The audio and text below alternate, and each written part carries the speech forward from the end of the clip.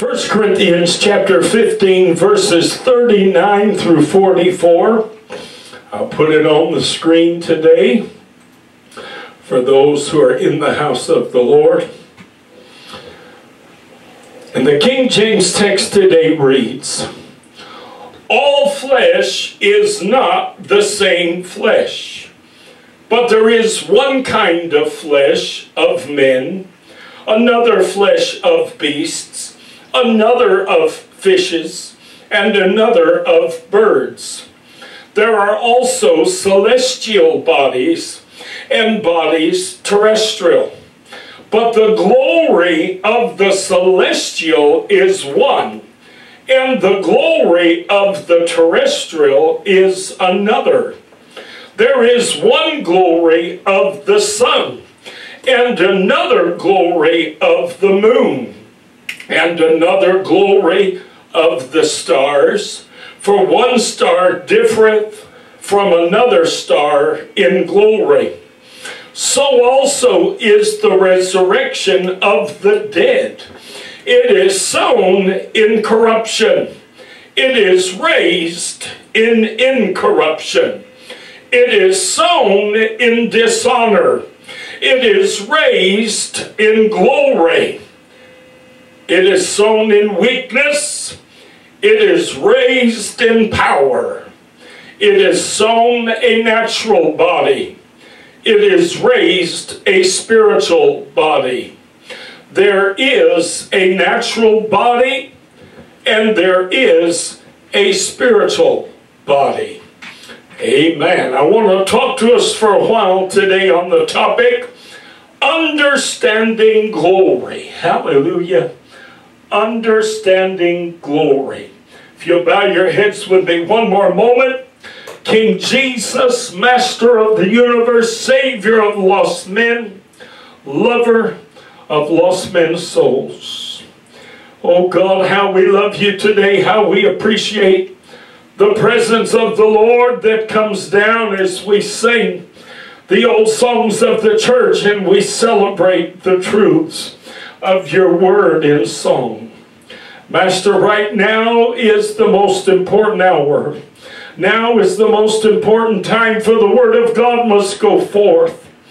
And more important than singing, more important than choirs and music and instruments is the word that comes from the pulpit because it is this word which can either challenge and change, inspire and uplift or it can leave us hungry, going home desiring more.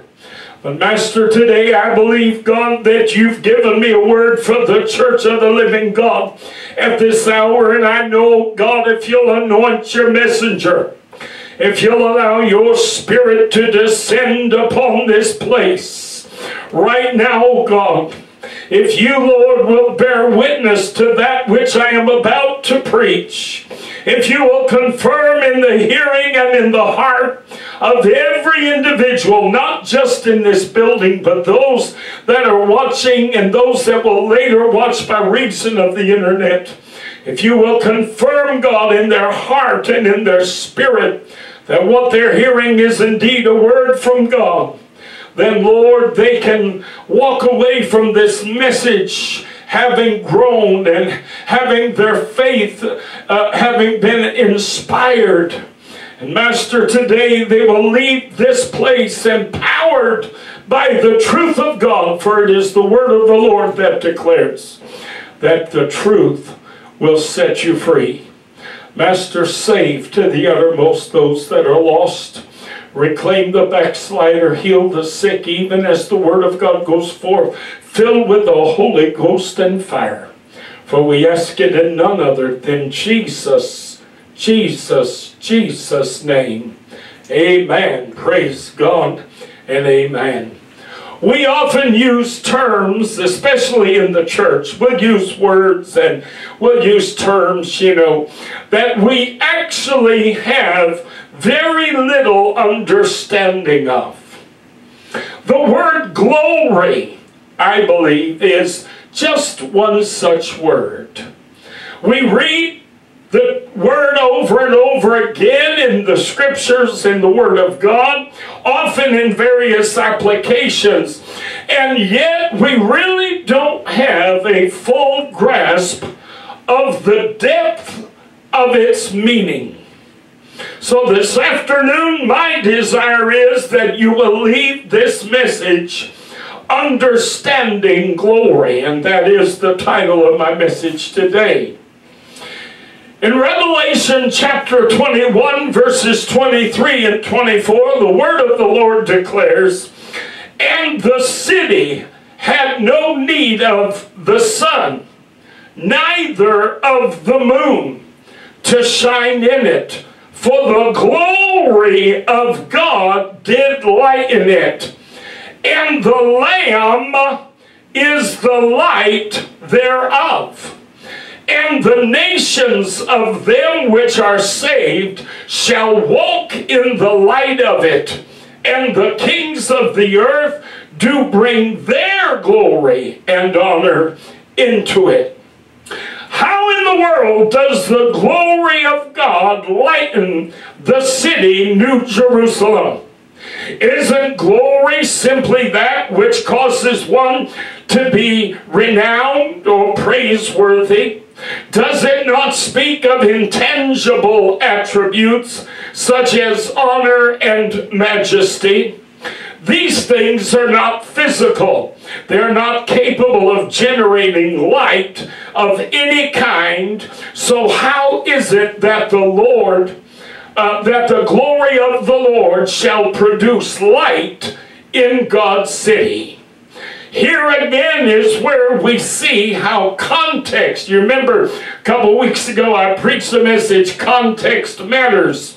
Well, here again we see how context uh, contributes to understanding.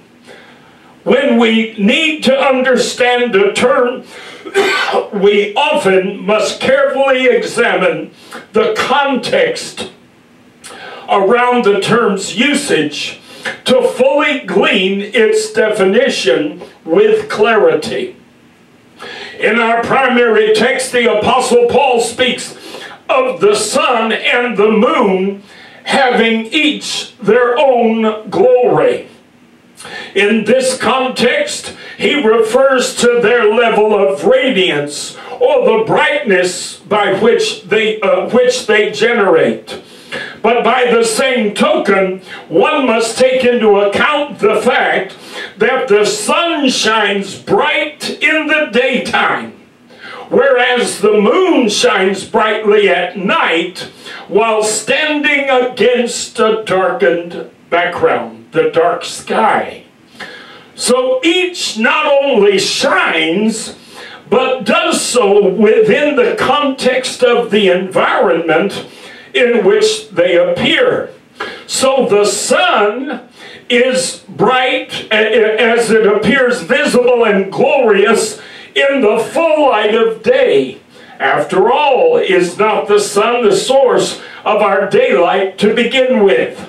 But the moon, while bright in appearance against a darkened sky, would scarcely appear at all in the light of day but requires the night sky in order to be seen clearly. Am I telling the truth? Now you can see the moon in the in the daylight if if uh, everything is placed just right in the sky. There are times you can kind of see the moon a little bit, but it doesn't shine. It doesn't radiate no. in the daytime. In order for this the moon to be seen radiating and bright and shining, it has to be against a dark backdrop, the dark night night sky.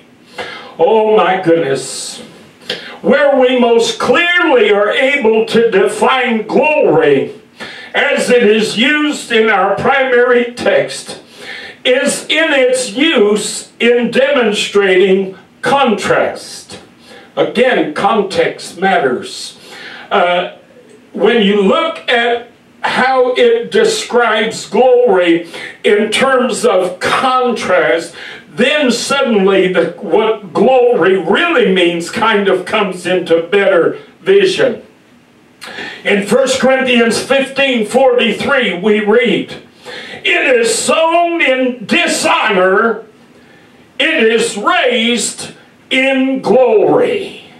So here we understand because everything Paul talked about, uh, he talks about the resurrection of the dead. He said, It is sown in corruption, it is raised in incorruption. It is sown in dishonor, it is raised in glory. It is sown in weakness, it is raised in power. It is sown a natural body, it is raised a spiritual body. Mm-hmm. So everything is exact opposite. Everything, the comparisons he's making are, it's sown one way, but it, it is raised an entirely different way. Mm-hmm. Okay? And the way in which it's raised is completely opposite to the way that it's sown.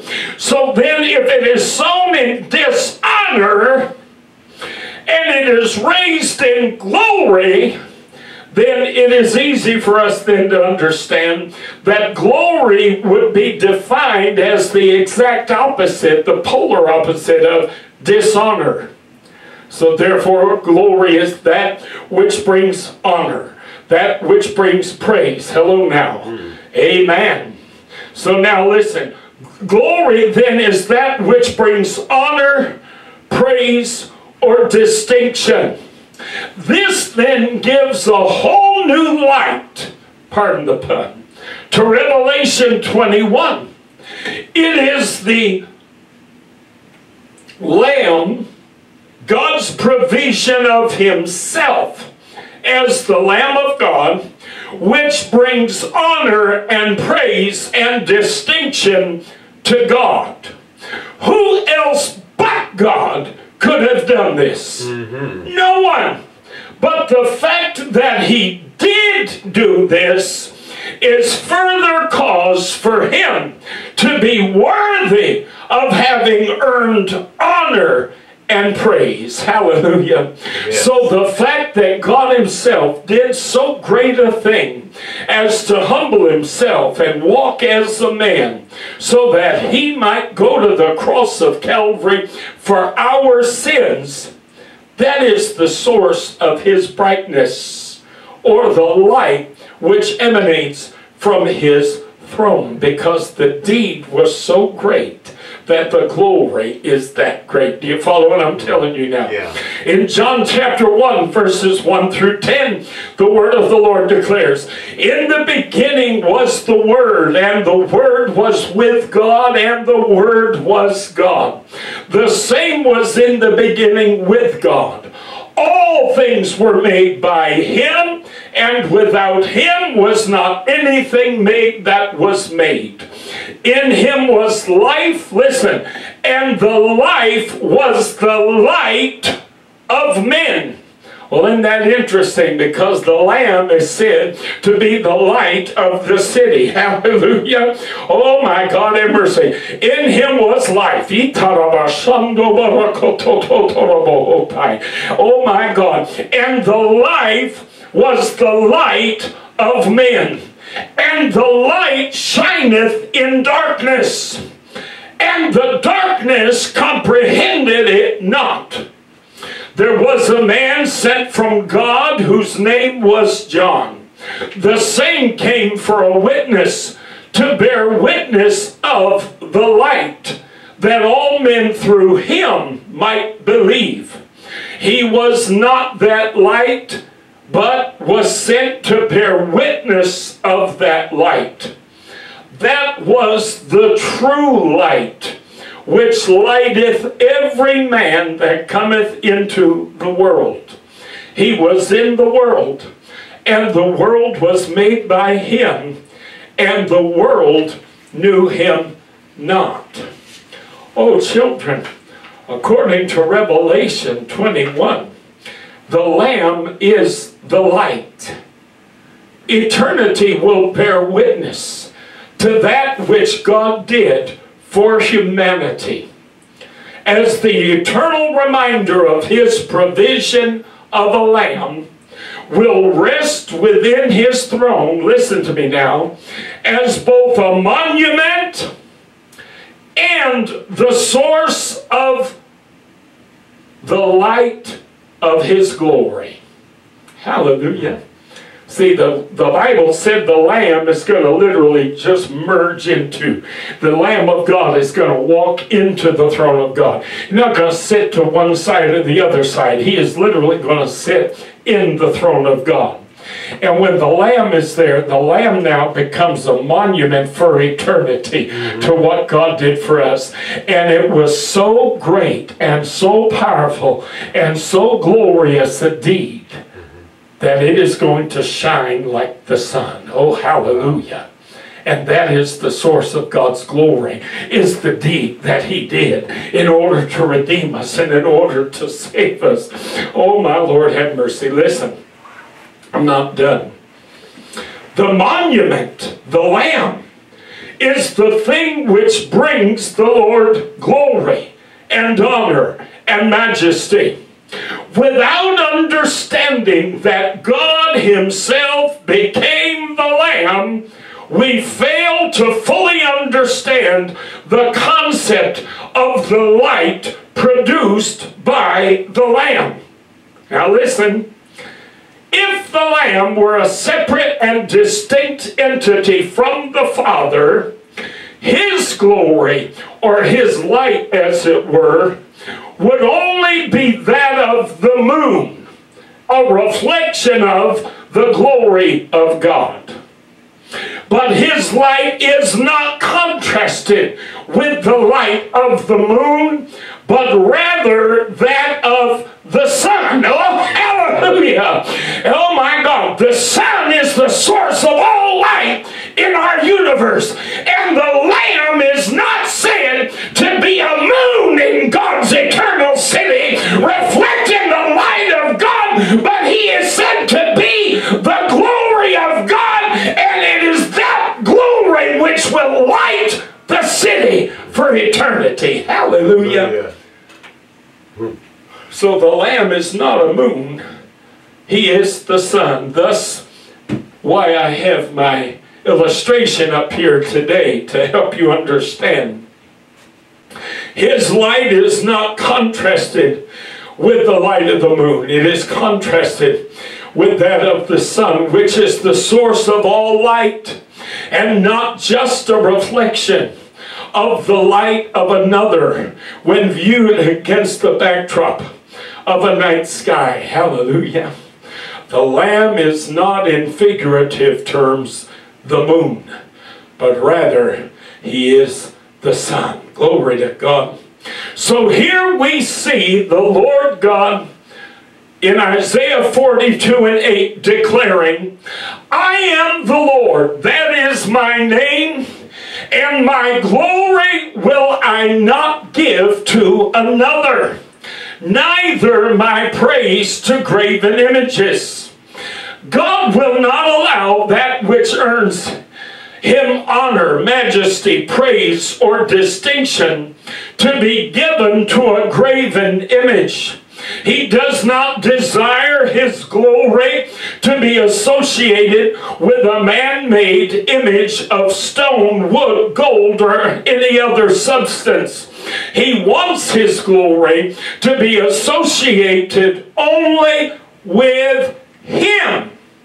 He will not use or permit the use, listen to me, of a moon or something that reflects his glory, but which is not himself. Do you follow my logic today? Amen. When people build idols, they don't claim that the idol is their God, but they claim that the idol is representative of their God. Hello now. And therefore, any glory associated with the idol is a reflection of the glory of their God. Do you hear what I'm telling you now? So what they're building is moons. Hello Hello. Every graven image, every image that's ever been created of any deity or any God, including Jehovah God, any image that's ever been made would only be an image that was capable of reflecting because it cannot contain, because it is not Him. It is something merely that reflects Him. But God said, I will not share my glory with another. In Isaiah 44 and verse 6, Thus saith the Lord, the King of Israel, and his Redeemer, the Lord of hosts.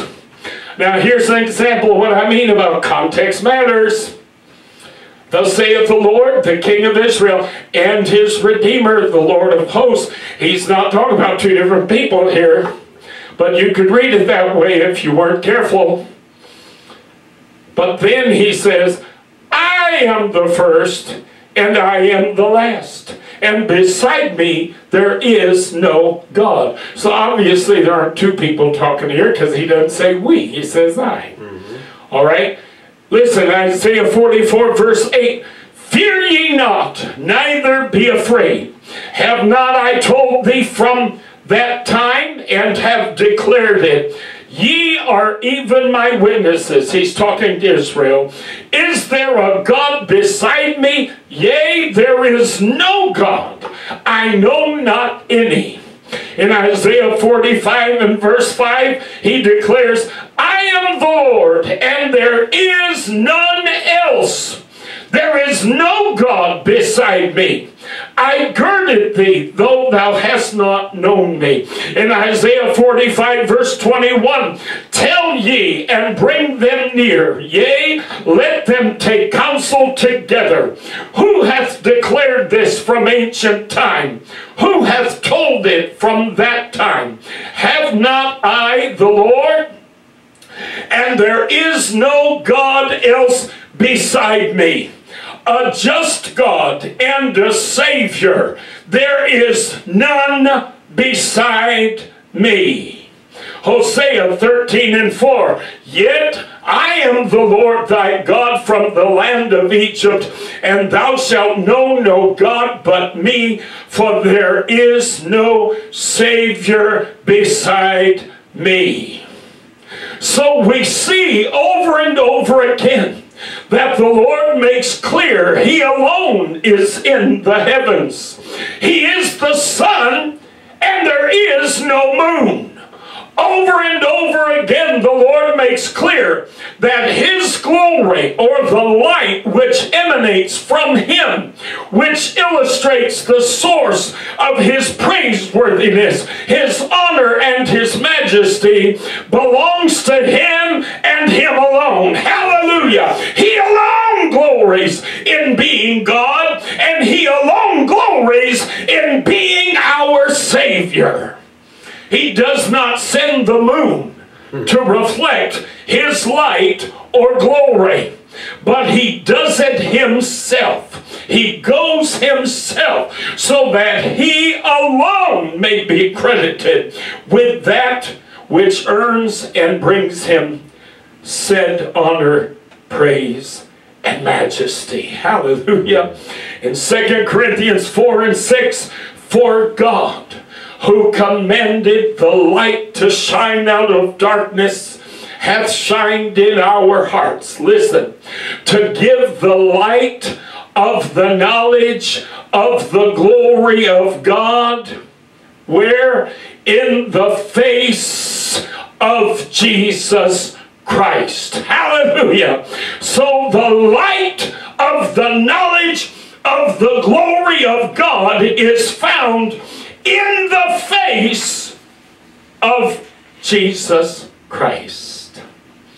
The glory of God is seen in the face of Jesus Christ, but God does not share his glory. Hello now. God does not permit a moon or a body of any kind or any sort to reflect his image or his glory.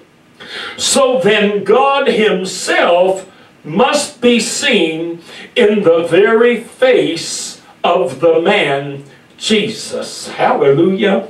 1 Timothy 3:16 and without controversy great is the mystery of godliness. Godliness meaning everything that pertains to God. God was manifest in the flesh, justified in the spirit, seen of angels, preached unto the Gentiles, believed on in the world, received up into glory.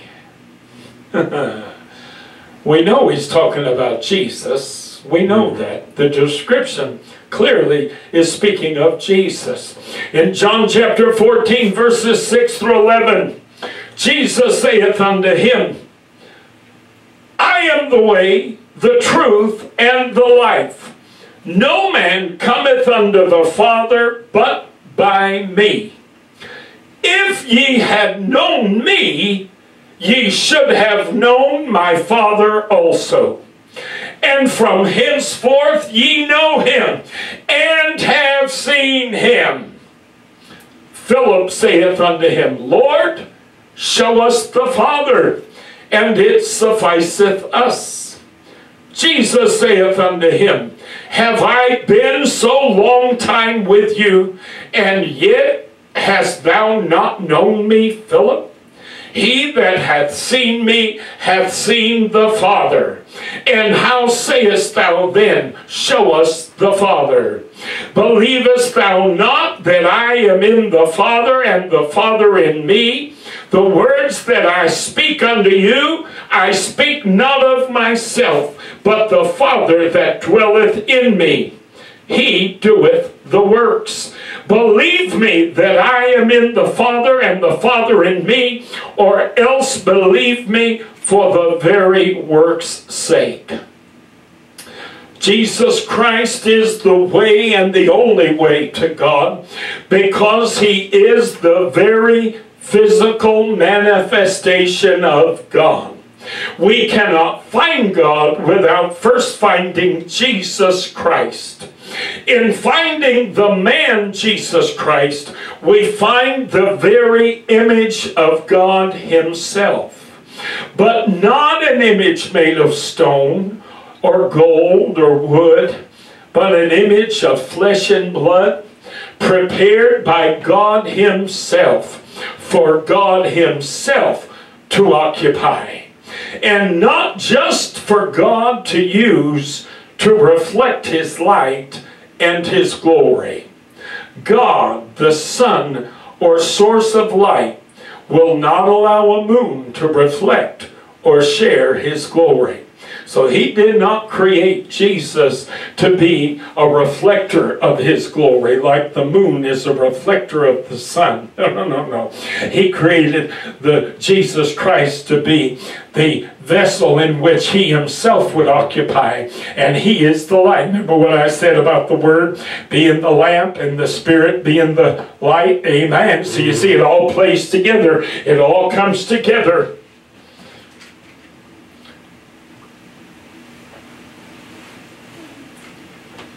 Isaiah 9 and 6 declares, For unto us a child is born, unto us a son is given, and the government shall be upon his shoulder, and his name shall be called, now listen, Wonderful, Counselor, the Mighty God, the Everlasting Father, the Prince of Peace. But now, I don't know how many times I've read that verse in my life, and you almost you almost slide on past wonderful because wonderful the term wonderful well that just implies that he's going to be so sweet and so nice and so precious and, and so kind and so generous and so loving and so compassionate right? Wrong. That's not at all what this term means. Listen Why is the Messiah to be called or known as wonderful? Simply because he is so sweet or kind or compassionate? No. Listen, he is called wonderful because he is a wonder. Oh, hallelujah. he is unique and special in such a way as to inspire awe and wonder. Mm. Oh, hallelujah. Oh, do you see how that term takes on a whole new life now? Mm-hmm. Understanding that, that uh, then the nature of God's glory, we now understand the wonder that is all God did for us. And we see much more clearly the meaning of the words we read in Philippians 2, verses 5 through 11. Let this mind be in you, which was also in Christ Jesus, who being in the form of God, thought it not robbery to be equal with God, but made himself of no reputation. He went from being God to making himself of no reputation and took upon him the form of a servant, and was made in the likeness of men. And being found in fashion as a man, he humbled himself and became obedient unto death, even the death of the cross. You have to remember, the death of the cross was torture. That was a torturous death. Wherefore God also hath highly exalted him and given him a name which is above every name, that at the name of Jesus every knee should bow of things in heaven and things in earth and things under the earth, and that every tongue should confess that Jesus Christ is Lord. And there's that magic phrase to the glory of God the Father. In this passage, all of the principles we've today looked at are expounded. Firstly, God Himself did the work of salvation as our Savior. Having done so incredible and unique an act as to take on human form and humble himself so as to appear a mere creation rather than the creator. Secondly, that in doing this, he gave himself through this physical man Jesus a name that is above any and all other names. And thirdly, that one day every human being, every angel, every demon will bow before him and confess that Jesus Christ is Lord. And in so doing, will glorify the Father, God Himself. Because God does not permit the presence or the use of any object, any body, or any person to reflect his glory, he alone is glorified by that which he alone has done. So when we confess that Jesus Christ is Lord, we confess that God indeed was in Christ reconciling the world unto himself.